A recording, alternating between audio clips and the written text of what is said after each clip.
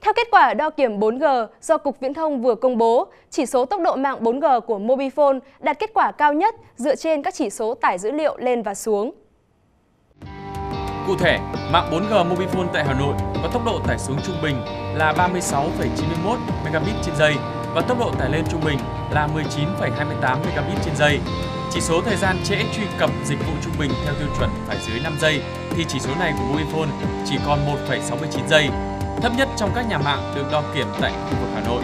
Việc đo kiểm chất lượng mạng 4G của các nhà mạng được Cục Viễn thông thực hiện vào trung tuần, tháng 7 năm 2017 và đánh giá dựa trên 8 chỉ số quan trọng nhằm đánh giá mức độ tuân thủ cam kết của các nhà mạng khi cấp phép băng tần 4G.